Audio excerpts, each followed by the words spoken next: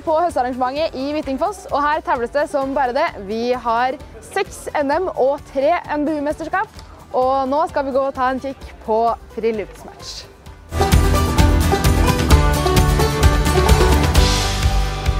Hva er det som er eh, taktikken for å vinne i friluftsmatch? Vær best. Hva går det ut på? Det er jo ganske enkelt når du er fra Rogaland. Da er du bare det. Er det tungt nå? Det er litt tyngre. Jeg har trua på deg. Ja da.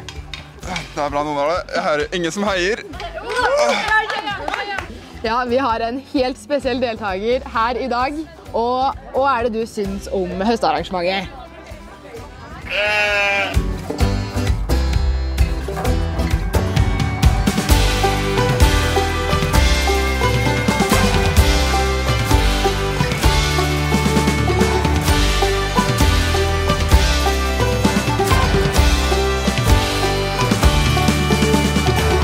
for deg, Sivert, hvorfor var det ikke så himla mye kjappere enn de andre? Vi har eh, akkurat arrangert landsstevne, og da skrudde vi 100 slike rasteplassbenker på to helger.